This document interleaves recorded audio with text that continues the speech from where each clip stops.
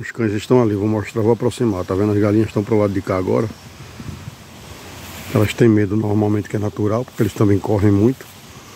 Mas agora estão soltos e não estão mexendo mais não. Estão começando a confiar neles. Está um pouco mais de confiança e liberdade.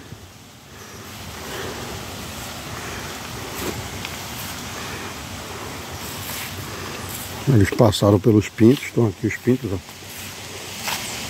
Certo? Estou na parte da frente da fazenda, no caminho do estábulo. Os cães estão ali. Tá vendo lá no meio do vídeo. E daí eu fico observando eles à distância para ver o que eles vão fazer de errado. Se vão mexer com os bichos também ou não. Ou se vão entrar alguns setores que não podem. Nas varandas das casas, entendeu? Na área da piscina.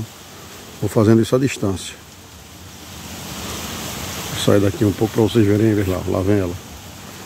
Tá vendo? A fêmea vai na frente, sempre ela que lidera. O macho vai atrás dela. Ele tenta ser o segundo macho. Né, tentando chefiar a matilha, mesmo ele filhote tá tentando tomar já o poder da matilha para si. O outro macho também agora foi castrado, já era muito calmo. Agora tá mais brando ainda do que já era. Zeus. Eles estão ali. Só como ele está preocupado. Só olha de longe. Não tem estresse. Hoje tem bichos soltos aí, tá vendo? A galinha. Os cães estão aqui, ó. Nem preocupados com os animais, tá vendo? Aí eu vou fazer também um trabalho ainda com os cavalos. Vou ver se dá para mexer nas ovelhas já hoje, que as ovelhas deram cria tem um tempo, tem mais ou menos um mês. Os animais estão mais durinhos. Eles estão bem calmos ultimamente. Não estão pensando em mexer nos bichos. Eu só observo a distância mesmo para poder controlar, caso precise.